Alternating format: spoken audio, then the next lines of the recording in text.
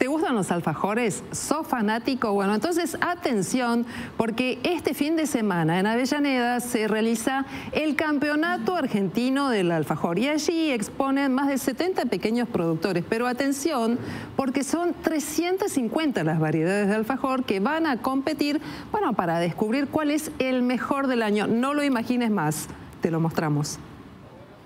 Alfajores grandes, alfajores chicos, alfajores premium y alfajores para degustar. En el Campeonato Argentino del Alfajor están todas las variedades imaginables de esta golosina que desde siempre es un símbolo de la gastronomía argentina.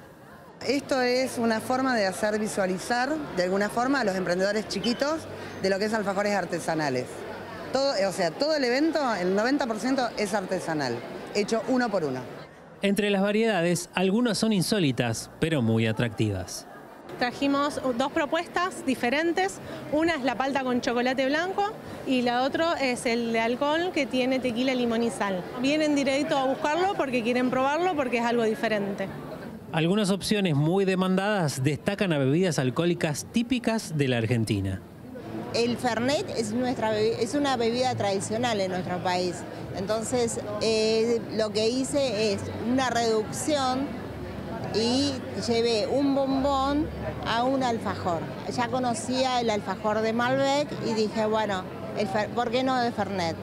Y otros incluso tienen una historia que contar alfajores hechos con avena, somos de la ciudad de Rosario, Santa Fe. Yo me dedicaba a la pastelería creativa hasta que me agarró la pandemia, se murieron todos los eventos, entonces ahí pensé en hacer un alfajor distinto y empecé a probar distintas masas, incluyendo este ingrediente principal que es la avena. Mi nena más chiquito, Joaquín, tiene discapacidad y mi hermana menor había sufrido una CB en el año 2014. Cuando yo empecé a hacer los alfajores, ella por secuelas de esta enfermedad estaba, estaba en cama y Morgana, el nombre que elegimos es un poco en honor a ella que falleció en agosto del 2020.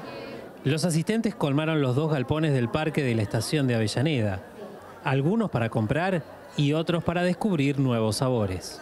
Me decidí porque lo pude degustar, así que recomiendo muchísimo a toda la gente que está en el stand que dé a probar a, los que venimos a probar los alfajores, porque a veces no podemos conocer la marca, pero en la degustación, la degustación es todo, si no, no lo hubiese comprado. Pero además de vender, para los expositores hay otro gran desafío, hacerse con el título de Mejor Alfajor del Año. Estamos compitiendo con tres de esas 38 variedades, el de Marroc, el de Mousse de Marroc, el de el Extra Dark, que es uno de chocolate intenso, 70% cacao, y el eh, mousse de limón y frambuesa con frambuesas leofilizadas y mermelada de frambuesa casera.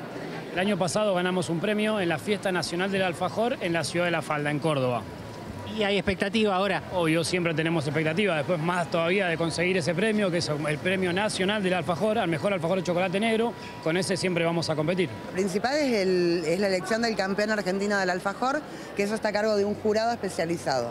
Pero luego tenemos otras actividades como la que es el mejor alfajor de la expo, que lo vota la gente a través de un QR en el momento. Se pueden ver que están degustando.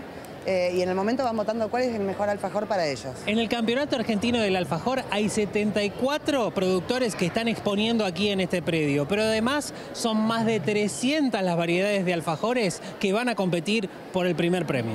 Es que hemos trabajado tanto para esto y ver los emprendedores eh, vendiendo, trabajando, es una inyección.